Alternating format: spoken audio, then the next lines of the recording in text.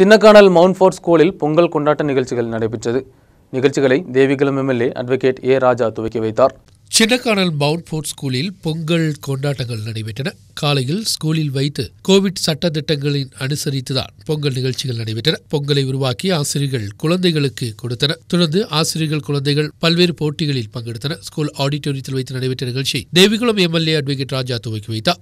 இதற்கு முன்னாடி பேசின குழந்தைகள்லாம் மிக சிறப்பாக வந்து எதற்காக பொங்கல் நம்ம கொண்டாடுறோம் அப்படின்னு சொல்லி சொல்லிட்டு போட்டாங்க இந்தியாவை பொறுத்த வரைக்கும் இன்றைக்கு இந்தியாவினுடைய முதுகெலும்பு அப்படின்னு சொன்னால் அது நம்மளுடைய விவசாயம்.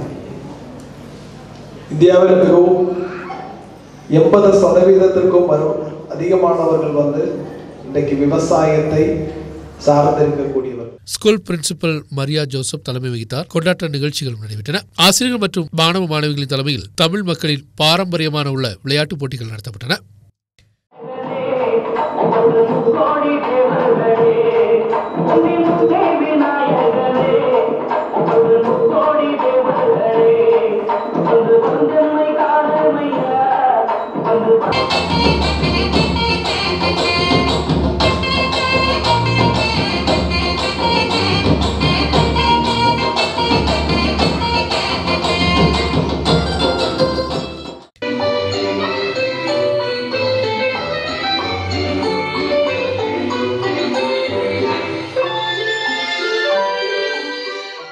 Father Vijesh vice principal brother Misiya PTA தலைவர் Antony vice president Jain John போன்றவர்கள் உரையாற்றினர்.